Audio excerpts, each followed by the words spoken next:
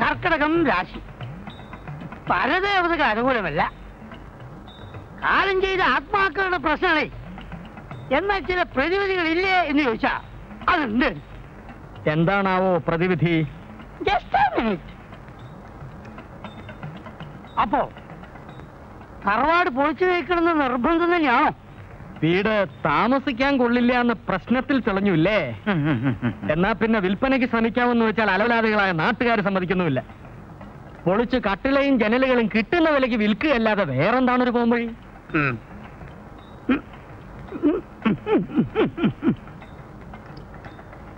എന്തോ പ്രതിവിധി ഉണ്ടെന്ന് പറഞ്ഞല്ലോ?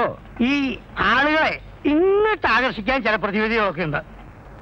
അതായത് ഏഴ് ദിവസത്തെ കർമ്മം കഴിയേണ്ടി വരും. പിന്നെ സ്വർണം കൊണ്ട് ആൾറൂം ഉണ്ടാക്കി ആത്മാക്കൾ ആവാഹിച്ച് ഒഴുകും ജലത്തിൽ സന്നി വേശിപ്പിക്കണം. അതായത് സന്നിവേശിപ്പിക്കണം ആൾ രൂപങ്ങൾ സ്വർണത്തിൽ തന്നെ വേണമെന്ന് വല്ല നിർബന്ധമുണ്ടോ?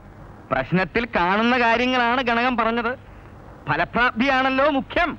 അതെ അതെ. ഓ ഒരു കാര്യം ചെയ്യാം. ഓ പത്രത്തിൽ പരസ്യം ചെയ്ത് ലേലം ചെയ്യാം. ആൾ രൂപത്തിനും കർമ്മങ്ങൾക്കും ചെലവാകുന്ന തുക ലേലത്തിൽ കണ്ടുകൊണ്ട് മുമ്പോട്ട് നീങ്ങാം. എന്താ? ഏ അത് അതിപ്പോ എന്നാ ഗണപതിയോഗത്തിനും മറ്റും ഒരുക്കേണ്ടുന്ന സാധനങ്ങളുടെ ഒരു ചാർജ് ഞാൻ തയ്യാറാക്കാം. ചാർത്തലൊക്കെ ലേലം കഴിഞ്ഞിട്ടാകാം. ഈ കാലത്തിനൊത്ത് ലേലം ചെയ്യണം എന്നൊരു ചൊല്ലുണ്ടല്ലോ. അങ്ങനെ ഒരു ചൊല്ലില്ല. ഇല്ലേ? പക്ഷെ എവിടെയോ കേട്ടതായി എന്റെ ഒരു ഓർമ്മ. കേട്ടത് ഞാൻ പറയാം. എന്താ അന്നെ പറ്റിയത് വളരെ ശരിയാണ് താനും. എന്താ കാരസ്കരത്തിൻ കുരു പാലിലിട്ടാൽ കാലാന്തരെ കയ്പ് ശമിപ്പതുണ്ടോ? അതായത് താൻ ഇത്രയും കാലം എന്റെ കൂടെ നടന്നിട്ടും തന്റെ മനസ്സ് ഇതുവരെ നന്നായിട്ടില്ല എന്ന് ഇയാൾ വഴിക്ക് കൊണ്ടുവന്നിട്ടില്ല അല്പന.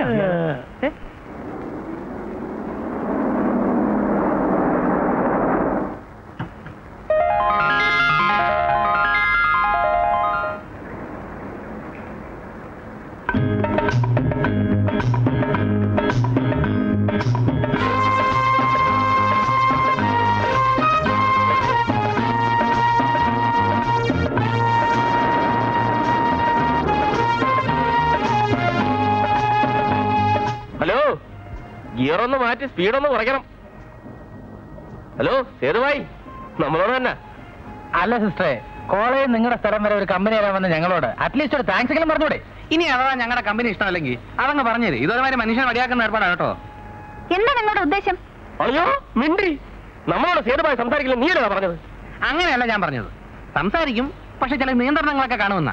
ഒന്നും വിട്ടു പറയത്തില്ല അല്ല സേതു ഞങ്ങൾ ഇങ്ങനെ എത്ര നാളായിട്ട് ബസ്സിന് കാശ് മുടക്കി നേരവും മെനക്കെടുത്തി കൂടെ വരാൻ തുടങ്ങിയിട്ട് ഒന്ന് വീട്ടിലോട്ട് ക്ഷണിക്കാവട്ടെ ഒരു കപ്പ് ചായ തരാവട്ടെ ഉം. കുടിക്കാൻ ചായ അല്ലല്ലോ. നിങ്ങൾക്ക് എല്ലാവർക്കും താല്പര്യം അപ്പറഞ്ഞതിന്റെ ഹിക്കുമത്ത് ഞമ്മക്ക് പൊടി കിട്ടിയില്ല. പൊടി കിട്ടും. നേരം കളയണ്ട. വൈകിയാൽ കള്ളുഷാപ്പിൽ തിരക്ക് കൂടും. കള്ളുഷാപ്പോ കള്ളുഷാപ്പോ ഷാപ്പോ? കള്ള് ഷാപ്പോ? കള്ള് ഷാപ്പോ ഞങ്ങളായിട്ടുള്ള ബന്ധം അല്ലേ? ദേ, ഞങ്ങളുടെ മാന്യത ചോദ്യം ചെയ്തു ഞങ്ങൾ ആരും അങ്ങനെയുള്ള ഫാമിലീസിൽപ്പെട്ട മെമ്പേഴ്സ് അല്ല ഏതായാലും ഒരു കാര്യം ഉറപ്പായി. നമ്മുടെ നീക്കങ്ങൾ കൊച്ചി ശ്രദ്ധിക്കുന്നുണ്ട്. എന്ന് വെച്ചാൽ നമ്മളോട് താല്പര്യമുണ്ടെന്ന് സൈക്കോളജി സൈക്കോളജി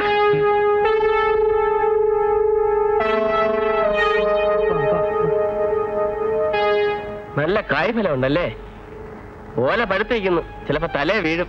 ഓ ഓ ലേലം തുറന്നിട്ട് തുടങ്ങാൻ പോകട്ടോ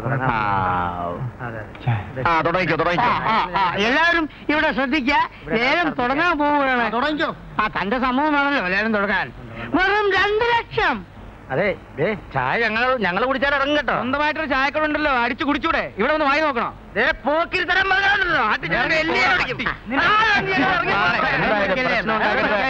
ഉണ്ടാക്കും പ്രശ്നം ഉണ്ടാക്കുന്നു ഇത് വെറും രണ്ട് ലക്ഷം രൂപ. രണ്ട് ലക്ഷത്തി ഇരുപത്തി അയ്യായിരം രണ്ട് ലക്ഷത്തി ഇരുപത്തി ആയിരം രൂപ വെറും രണ്ട് ലക്ഷത്തി ഇരുപത്തി അയ്യായിരം രൂപ. മൂന്ന് ലക്ഷം രൂപ. വെറും മൂന്ന് ലക്ഷം ഒരു തരം. വെറും മൂന്ന് ലക്ഷം രൂപ രണ്ടു തരം. ഇതാ ലേലം ഉറപ്പിക്കാൻ പോകുന്നു. മൂന്ന് ലക്ഷം. വെറും മൂന്ന് ലക്ഷം രൂപ മൂന്ന് തരം ലേലം ഉറപ്പിച്ചു. മൂന്ന് ലക്ഷത്തി ഒരു രൂപ. ഏ മൂന്ന് ലക്ഷത്തി ഒന്നോ? വീട്ടിൽ പോയില്ലേ ഭാര്യയുടെ അടുത്ത് വിളിച്ചാൽ മതി. ആ, വന്നിരിക്കുന്ന കൂടുതൽ വിളിച്ചവനെ വസ്തു വിട്ടു വിട്ടുതരാൻ വിട്ടു തരാൻ എനിക്ക് മനസ്സില്ല മനസ്സിൽ ഈ വസ്തു തന്റെ കയ്യിലിരിക്കും. ഇവിടെ ലേലം നടക്കില്ല. എന്റെ വീട്ടിൽ നിനക്കെന്താ കാര്യം? ഇവിടെ കുടിക്കുന്ന മറ്റുള്ളവർക്ക് എന്താ കാര്യം? അവർ ലേലം കൂടാൻ വന്ന. ഞാനും ലേലം കൂടാൻ തന്നെ വന്നത്. പുതുശ്ശേരി തറവാട്ടിലെ ഈ ഇരവി രാമൻപിള്ളയുടെ വീടിന്റെ ഒരു കഴുക്കോൽ വിലക്കെടുക്കാനുള്ള കഴിവുണ്ടോ നിനക്ക്? മര്യാദയ്ക്ക് വെളിയിൽ ഇറങ്ങുന്നോ അതോ കഴുത്തിന് പിടിച്ച് പുറത്തു കൊള്ളോ പിള്ളേച്ച പ്രശ്നം ഉണ്ടെങ്കിൽ പിള്ളേച്ച. കുറെ കാലമായി ഞാൻ അവനെ സഹിക്കുന്നു. എന്തോന്ന്. നീ എന്നെ സഹിക്കുന്നോ എടാ നീ ഇപ്പൊ വലിയ പണക്കാരനായല്ലേ? കാ കാശിന് ഗതിയില്ലാതിരുന്ന കാലത്ത് നിനക്ക് എന്നെ വിറവായിരുന്നു കണ്ടവനെ പറ്റിച്ചും കുതികാലി വെട്ടിയും സിമന്റിന് പകരം മാലി ചേർത്തും പാലം പണിതും നീ കാശുണ്ടാക്കിയപ്പോ. നിനക്കെന്നോട് പുച്ഛം. നിനക്കെന്നോട് പുച്ഛമല്ലടാ തെണ്ടി. ആ നീ പട്ടിണി കിടന്ന കാലത്ത് എന്റെ കടയിൽ നിന്ന് കടം മേടിച്ചുകൊണ്ട് പോയി നക്കി തിന്ന ഇഡലിയുടെ കാശ്. അഞ്ചു രൂപ നാപ്പത്തി അഞ്ച് പൈസ നീ എനിക്ക് അറിയാമോ ആ കാശ് എന്നിട്ട് മതിയാ ബാക്കി പ്രസംഗം. എടാ നീ കാറ് മേടിച്ചപ്പോ ഒരു ദിവസമെങ്കിലും നീ എന്നാ കേട്ടിക്കൊണ്ട് കയറ്റിക്കൊണ്ട് പോകാനുള്ള സന്മനസ്സനെ കൊണ്ടാടാ എരപ്പേ. ഈ പോടാ തെണ്ടി. തെണ്ടി നിന്റെ തന്താ.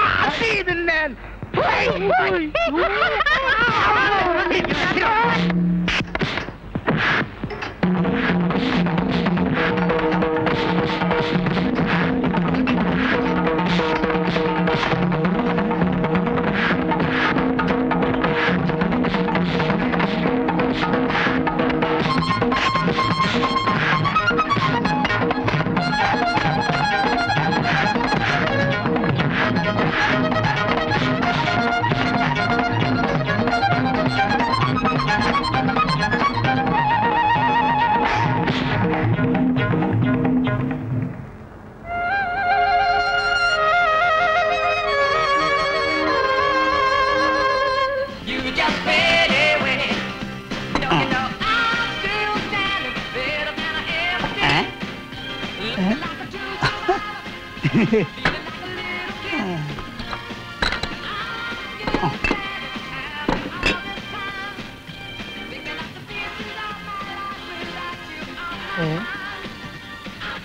മൂഷിക ഭരണം കാരണം മുടിഞ്ഞ് കുത്തുപാലെടുക്കേണ്ട ലക്ഷണം. ഒന്ന് രണ്ട് മൂന്ന് നാല് അഞ്ച് ആറെണ്ണം പണ്ടാരടക്കി. എന്തൊരു മാറ്റം ഏ സഹിക്കാൻ വേണം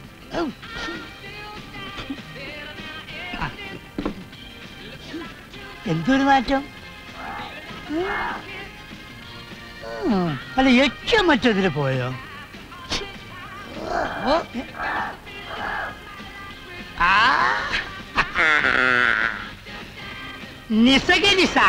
എടാ എലി എടാ മൂഷിക എടാ ഗണപതി വാഹന.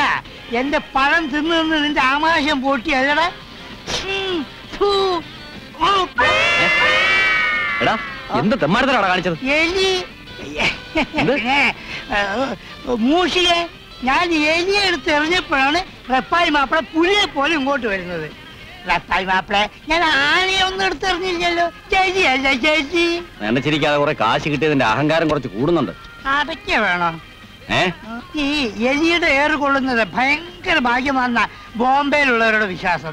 കാരണം അവൻ ഗണപതിയുടെ വാഹനമാണല്ലോ. അതങ്ങ് ബോംബെയിൽ. ഇവിടെ വേണ്ട. നീ വാടക കാശിങ് എടുക്ക. അത് ഞാൻ കൊടുക്കേണ്ടവരെടുത്ത് കൊടുത്തോളാം. ഇനി മുതൽ നിന്റെ കയ്യിൽ നിന്ന് വാടക വാങ്ങാൻ മഹേശ്വരൻ പിള്ള എന്നെയാണ് ചുമതലപ്പെടുത്തിയിരിക്കുന്നത്. അവനെന്താ തരാലോ? അതാരാ പോകുന്നത്? നമ്മുടെ അമൃതം പൊന്നമ്മയല്ലേ? അതാ നോക്ക്. എവിടെ? ആഹാ.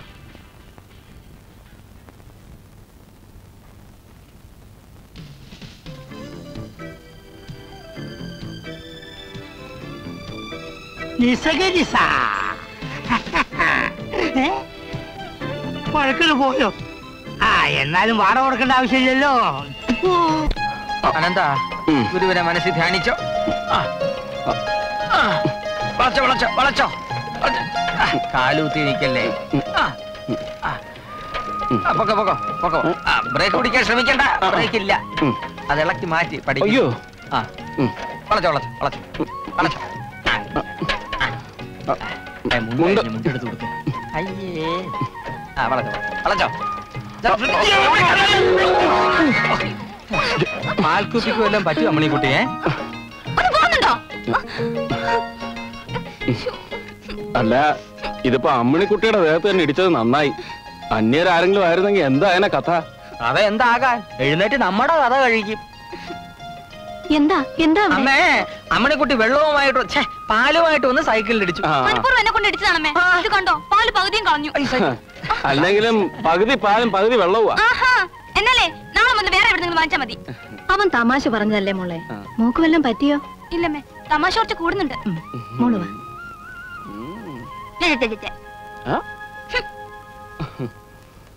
കൃഷ്ണ വാ തുടങ്ങാം. ഇന്നിനി പഠിക്കണ്ട. ഗുരു ക്ഷീണിച്ചു. അനന്താ. വരുന്നമ്മേ. അമ്മ വിളിക്കുന്നു പാൽ കുടിക്കും. ആ നന്നായിട്ട് വരട്ടെ. ഓ. ഗുരുത്വമില്ലാത്തവരാണല്ലോ